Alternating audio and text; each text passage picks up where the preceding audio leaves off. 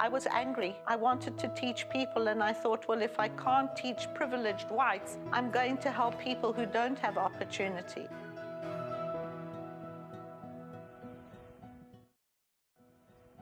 My name is Feé um, Halsted. I grew up in Zimbabwe, and I came to study fine arts in South Africa and I was lecturing. I majored in painting and started working in ceramics, and I was lecturing in Durban, and I lost my job.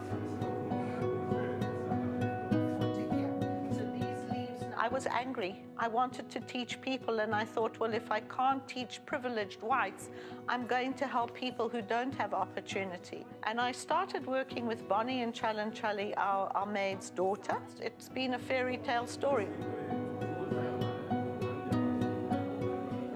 It's grown now to include about 80 people, and we live here at Caversham in KwaZulu-Natal.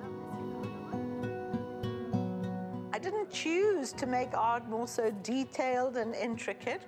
What we did by working with the Zulu culture is they have always created the most exquisite craft.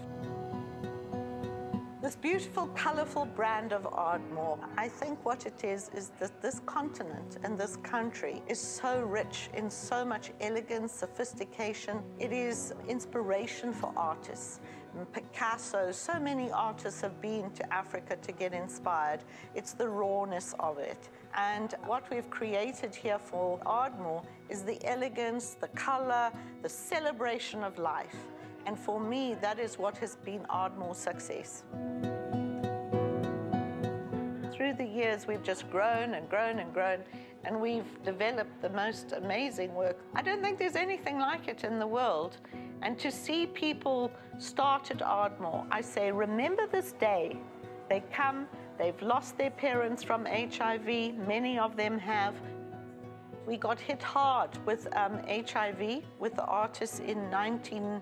85 was one of our first artists died and we worked really hard with them but in those days nobody wanted to talk about it. So so many of my artists we lost at least 40 wonderful wonderful artists including Bonnie. It was very painful to lose these artists at the time and I took a very positive approach. I made a hospital at the studio and I kept artists with me close. We nursed them. Now since 2010 um, most of the artists are on antiretrovirals and they've lived very well with um, being HIV positive and we haven't lost one artist. Children grew up with Ardmore. My two daughters are very, very creative. They studied fine art, uh, also in Pietermaritzburg University, and my son studied business. When he'd finished school, I said, you know, I can't really leave you much, but we could have fun starting a new business.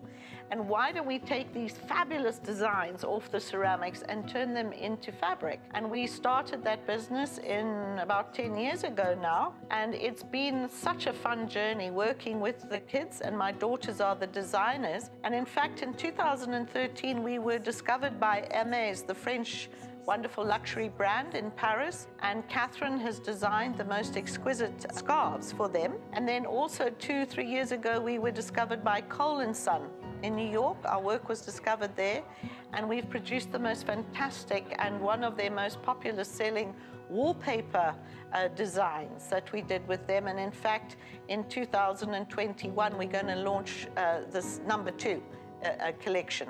So that's very, very exciting. Think our worldwide success has come about because we've produced a new visual. It's a bit quirky, it's raw, it's naive in a beautiful sense of life. This feeling of what we've achieved here, I cannot tell you what it, what it feels like. I lie in bed at night and I go, sure, I've done something good, you know, something in the, my wildest dreams has happened, but it's come from hard work and dedication what is my dream is to continue, to just see that when once I'm gone, the Ardmore studio and the artists and their children have continuity and to put steps and measures in place that they not, that they become self-reliant on me. So my visual is for me to be able to step back and to watch my teachings come out.